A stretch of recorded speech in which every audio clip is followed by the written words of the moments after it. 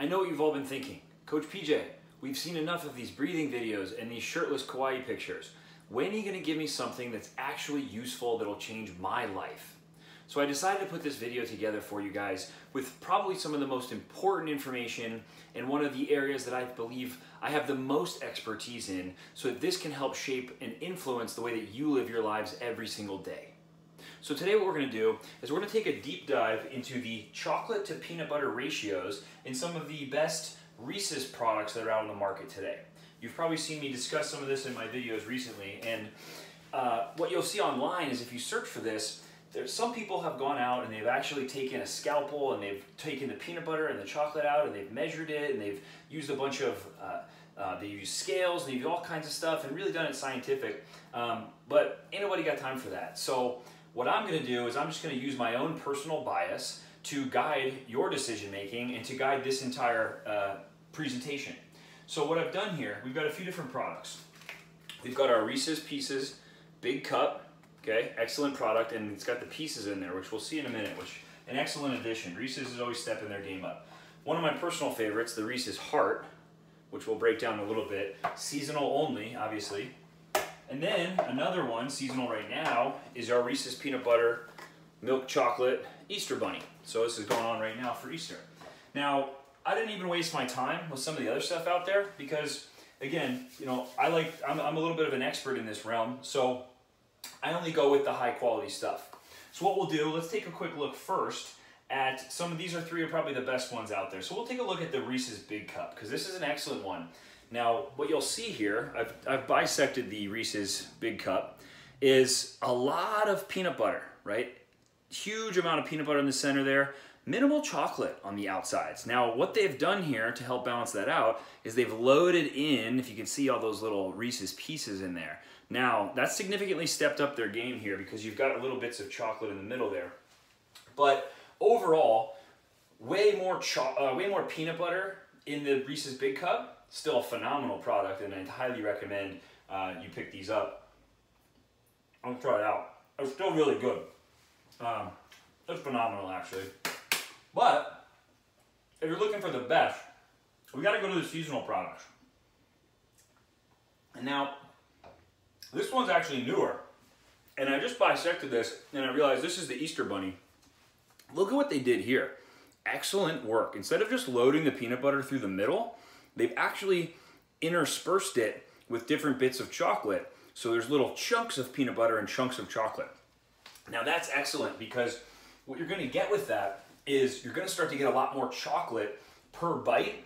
And one of the problems with some of the seasonal products and the bigger products is the ends are really good. They get a big chunk of chocolate with the peanut butter there at the end. And then you get into the middle and it becomes this big wad of peanut butter. So like the peanut butter egg, which I was gonna review on here too, um, but I already ate it. So the peanut butter egg is not so good because it's just a big chunk of peanut butter. And I know you're probably thinking right now, some of you out there are thinking, well, wait a minute, I actually like more peanut butter. And when it's lots of peanut butter just a little bit of chocolate, I actually prefer that. So what about that? And uh, my answer is, look, nobody's perfect. And I'm sure you're probably good at something else, but you're wrong about this because you don't want all peanut butter because peanut butter is phenomenal, but peanut butter is a little bit dry. So the chocolate and the sweetness helps balance it back out. It's the difference between eating like a little bit of an apple dipped in peanut butter, a little bit of juiciness that helps you to keep eating more. Whereas if you just eat peanut butter, you're like, ah, it's stuck in your mouth. You know, it's just like, you got to really think this through. So listen to an expert and just change your opinion. So really, really good here. I like how they intersperse the chocolate and the peanut butter together. Excellent work. And then the last one we'll look at, one of my personal favorites, is the, the hearts, the chocolate hearts. Because what you'll see, if we look up close, look at the thickness of chocolate along the base here, the thickness of chocolate along the end. Still a lot of peanut butter, so good amount of peanut butter, but they've thickened out the chocolate. So most of your bites outside of that middle bite are gonna have a really good chocolate to peanut butter ratio. And your ideal bite is gonna be this one right in here. Because look at the thickness. You're gonna get some thick chocolate, peanut butter flavor. Oh, it's gonna be the best bite of your life. So now what I think they could do even better now that I've looked at the intersection of these, is combine those two together, start interspersing a little more chocolate um, into that peanut butter. But that's the that's how you get the ideal ratio because you really want that thick chocolate paired with the peanut butter. And what you'll notice they did really well here is every single chocolate product here is all milk chocolate based. There's no dark chocolate in it because that's crap and we don't want it. It's all milk chocolate based and they probably make dark chocolate stuff, but I don't buy it. Um, and then for comparison here, I've also bisected this kiwi. And what you'll notice with the kiwi, if you look around the outside, minimal to no chocolate whatsoever, and then inside, no traces of peanut butter anywhere in there. So obviously no nutritional value in this whatsoever, and I don't even know why you would want to eat that. Uh, so really what we have is just a comparison of phenomenal products. It'll depend a little bit on personal preference. The nice part about these larger products is that they're significantly larger, but it's still only one heart. So if I buy the Reese's Big Cups and I eat 15 of them in a normal sitting, then I feel a little bit bad about myself. But when I buy one Reese's Heart, it's like, oh, I'm just having one serving, which is actually five servings and upwards of 700 something calories, but that's irrelevant here. So that's the nice part about these seasonal products is you can buy a whole bunch of them and then they're really just one serving. So you can eat the whole thing as one.